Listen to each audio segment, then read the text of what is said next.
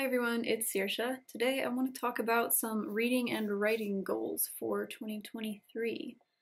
I read 44 books last year and I had set my goal at 40. So I felt like that worked really well for me. I didn't overwhelm myself by setting it at 52 like like I thought I was going to. Um, I think so far I've only managed to read 52 books in a year once and that was 2019. Now, this might be boring, but I think I'm going to set it at 40 again. So, if you have Goodreads, it's a really it's a really uh, great tool to use for keeping track of the books that you've read and what you rated them and all that. So, I go on Goodreads every year and I set my goal and then update as I'm reading books. You get to see like your little list of all the books you've read so far and it tells you how close you are to your goal. Um, and yeah, I think I think 40 is good. 40 is solid. I was thinking, oh, maybe I could push it to 45 since I did 44 this year. Well, I'd rather set it lower and then exceed my expectations because that feels nice. It just it felt good to be like, oh, I did four books more than my goal, um, and then I didn't feel stressed about pushing it any farther than that. So I like that. I like 40, and I got this little book journal for free for I don't know, it was like any purchase at Barnes and Noble and you got one of these at a certain point and I haven't had a physical book journal in years now. I used to do this when I was a kid. So am I actually going to log my books in here and on Goodreads and make videos on YouTube? We will see. But I kind of like it. Um, I'll show you the layout here. Pretty simple. The thing is, when I finish a book and I put it on Goodreads that I finished it, I just give it the one to five stars and send it on its way. I really don't write book reviews, which maybe sounds weird as a person who, who makes book videos on YouTube all the time. Um, I, there's just something about actually writing it down that feels very permanent and if you've been watching my videos, you know that I struggle to articulate certain things, so I don't know, it feels like work to me to try and come up with a really well written description of something that I thought was good writing, if that makes sense. Like, I'm not trying to one up the person by writing about their writing. Um, that's why I just talk incoherently about it, which works for me. Or maybe it just reminds me of being in school when I have to write something because I wrote a lot of research papers about books as a literature major. So, anyway, that's my goal. Those are, that is the book journal, and specifically, this shelf that's behind me is 10 feet long, and the entire thing is unread. So, I mean, it's a good 100 books, maybe. I really am not good at estimating. There's probably around 100 books uh, that I've just been collecting and haven't read, and that doesn't count the ones on the top shelf that are young adult books that I haven't read, and that tells you how long I've had them. I haven't been in the young adult uh, age bracket for about 10 years, so will I even get to those ever? I don't know. The problem is I have so many unread books that I keep buying and then I keep buying more and the new ones look more interesting to me than the ones that I collected four years ago and still haven't read. But it doesn't stress me out. I like the opportunity of it all. Um, I like to see all of the options that I've got and know that I can also go down the street and get 12 more books if I want to do that. But anyway, some of the things that I really want to complete this year is I want to finish reading um, F. Scott Fitzgerald's books. I only have one left. Tender is the Night, I believe. And yes. And I would like to finish the Dune series. I have the last two books, um, which is Heretics of Dune and Chapter House Dune. I want to finish those. I want to finally read The Hunchback of Notre Dame, um, which I got my little copy of it in Paris six and a half years ago. Haven't read it yet. Um, and I want to read A Short History of Nearly Everything by Bill Bryson. there are a lot of books on my to be read shelf that are very long and seem, you know, like to involve a lot of thought, uh, thought required of the reader in their brain while they're reading, which sometimes I just don't, I don't have in me because I'm, I focus too much on trying to get the quant- quantity, quantity of books read, and so I will skimp on the big fat ones. Um, because I'm like, I don't have time, so let me just throw in another 250 pager, and then I'm back on track with my goal. But all these all these delicious big books get left behind and I don't like that. So my goal is to stop that.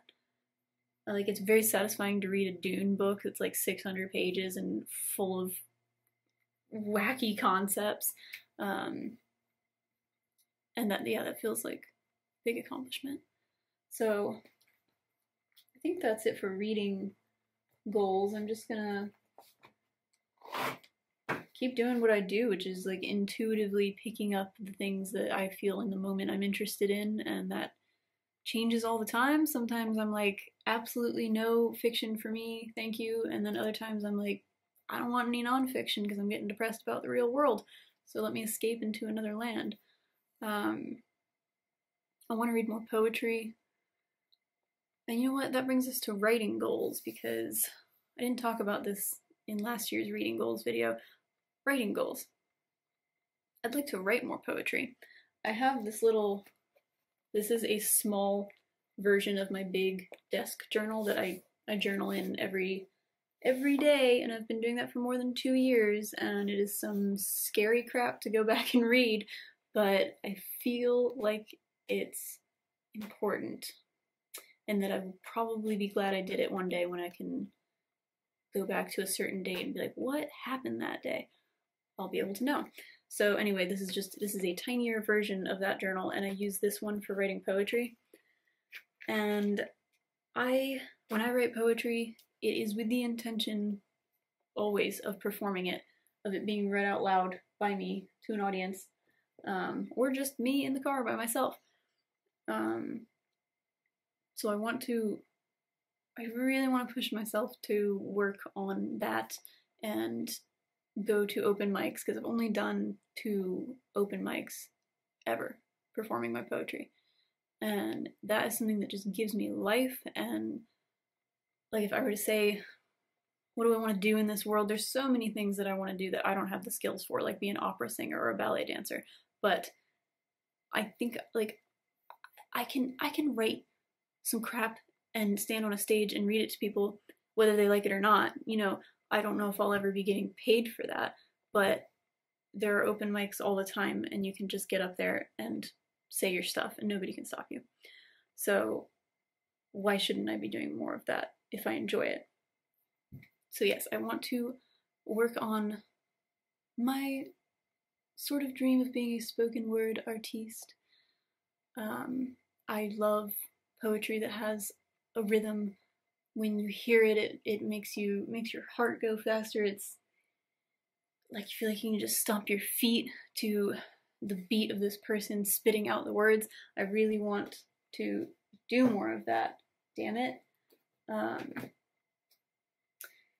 and and maybe do it in ways that I haven't been, which would be like to break out of the constraints of rhyming because I really really enjoy rhyming um, not with any sort of like standard rhyme scheme, but just with something that I feel has a rhythm and a flow in within the con- confines of whatever poem I'm writing, um, and that's all.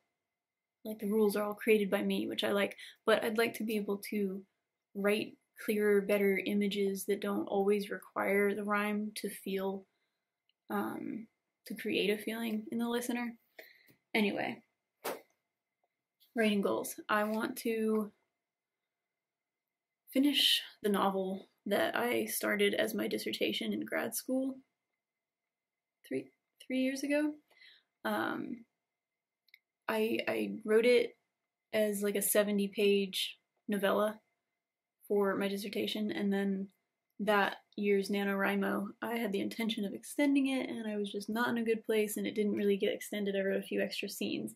So I, I really want that to be like a solid 250, 270 page novel and something that I can feel is ready to be shown to the world because my other goal is to query an agent, to query many agents, probably get rejected many times. Um, I've been telling myself for years now that I'm going to start querying, and I never do it because I think if I don't try, then I can't fail. Huh? And then I can always believe, oh, well, I don't know what would have happened if I'd tried. I probably would have done great. But that's silly. I'm a silly goose. And it's kind of better to just try and find out. Because what, like, why am I just sitting on the mystery of, of could I ever have an agent and, and be published? Why, why, why have I not tried anything? Um, I need to learn more about the publishing industry and about what to do with short stories. Because now I'm sitting on a pile of those, and some of them I actually like and I would like to try and place at least one short story this year. Um, the only thing I have done is submit them to contests, and contests are just, you know, thousands of people, and somebody's going to be better than you, so I don't win them. Um, but yeah, some of these stories I really want to see the light of day. And eventually, I'd like that novel to see the light of day. And what else? What else? Maybe I'd do another writing workshop this year. Um, not sure what's happening. I know Cheryl Strayed has workshops, and I really want to go to one of hers. Um, I'm not going to put myself in a box of I need to write from this time to this time on these days of the week, and I need to write this much. And that for me is during NaNoWriMo. That's when I kick my ass and write 50,000 words in the month. The rest of the year, what I'd like to do is not write zero, which is what I typically do, write absolutely nothing until November. Um, I'd like to, to write more than, than nothing, but I am not going to kick myself um, into a specific schedule. I just read Haruki Murakami's book about writing, and I felt so seen because he said that his style is to write when when the mood takes him when it when it's like I have to write this book all of a sudden. And he doesn't work with deadlines. He's not telling a publisher I'll have this um, draft on your desk by January 10th he doesn't do that. He will write when he wants to write. And then the story just works better because he wants to be doing it. I don't know, that really spoke to me because I'm never going to be like one of these writers that that sits down and forces themselves to write something when they're not inspired just as a way of exercising the muscle. I don't really believe in that. Um so other things. Um, if you have some writing goals and you're feeling like you don't know how to get yourself kind of in the groove, pick up an actual physical journal. I really like this one that I found in New York City. Um, it's just really nice. And get yourself some pens. These are some of my favorites. So, of course, the classic Le Pen. I've got this in a million colors. And I use these for color coordinating my desk calendar, my, my planner. Um, so like social events go in pink and appointments go in red and that helps my brain. Um, this one, it's I guess it's by Zebra. But I like pens that are like a 0.5 millimeter or less fine tip. Um, and typically Japanese pens will be amazing for that. Um, like when I worked at Disney and the kids would have their little autograph books and have the characters sign anybody who had a Japanese pen the the way that the signatures looked was so beautiful. I was just like let me spend some more time with that pen. Um, this is my everyday um, bought like a 12 pack of them pen. This is the Pentel Arts Hybrid Technica and this is a 0.3, okay? This is a 0.3. Do you see how fine that tip is? It's, ha! Makes me weak. Sometimes it's kind of hard to write with because it's like writing with the edge of a knife. Um, and then, of course, you gotta have a Gelly Roll. You gotta have a Gelly Roll. Do you remember these? Do you remember being in third grade? And can I put this on my hand? Look at that. It's just shiny. Um, they got banned at my school because. Why did they get banned? Was it because they were too cool or because the teachers couldn't read them? I don't know. People might have been fighting over them. I don't know. That's why the Pokemon cards got banned. People were like trading them illicitly. Anyway, so get yourself some physical writing implements. Um, here I have an antique writing desk that was my grandma's, and I have a portable, like, a write what they would call a writing desk back in the day from like the Victorian times, where it closes up into a little box, but when you open it, it's a it's a tilted surface, and that gets me very excited because you don't want to write on a flat surface, just kills your arm, but if it's tilted, that's more natural. So that's what they would do. Um, you know, people like Charlotte Bronte have a little writing desk on top of a regular table, and you can travel with that. So these things kind of just get me feeling groovy. Um, I write poetry both longhand and on my phone because like if I'm out and I think of a line, I gotta write it down and I'll write it on my phone. But if you're the type that wants to just carry a little, like one of those cute little flippy notebooks, like you're a detective or something, and always have a pen with you and, and jot down ideas, that's really cool too. But our brains work differently, I think, when we're looking at a screen and typing versus writing. Um, and so you might find that you get different different ideas and you might see things in the story differently if you do that and you can write um you know outlines and like I've I've gotten here some pages of just images that I want to include in, in stories or poetry and um, themes that are in a story I'm writing and ideas for stories like that's a nice thing to be able to look at physically even though I do it on my phone as well um, there's a lot to be said about the physical word, which brings me to print your work. Print your work. I want to this year print more of my work and look at it and be proud of it. Um, this is a novella that, no, I wouldn't even call it a novella because I'd call it a very long short story um, that I wrote most of during National Novel Writing Month and printing up this bad boy was such a good feeling and I've done that with every book that I've written. The second I'm done, even if it's late at night, go over to the FedEx Kinkos and print that thing out. Look at that baby, hold it in your hands when it's all hot and fresh.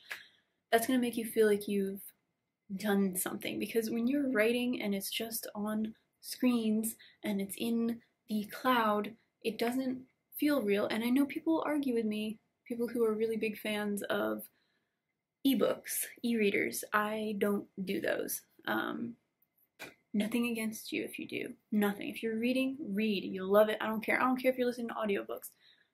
I'm a person that needs to hold a physical copy of a book and read it with my eyeballs. So yeah, it just feels it's very it's very tangible when you see your writing on a page like this. You can fan yourself with it and it's it's your story all bound up and thrown on a desk. Oh, I just dropped my water because that is how passionate I am about the physical written word. So, I want to print more of my work, even if it's just very, very short stories.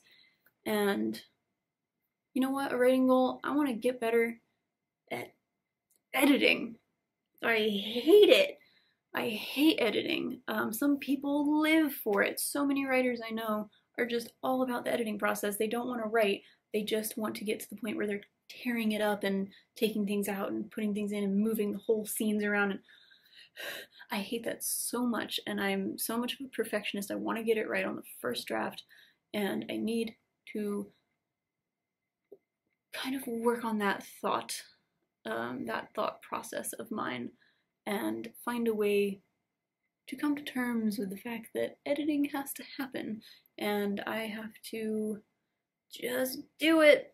I gotta just do it. Um,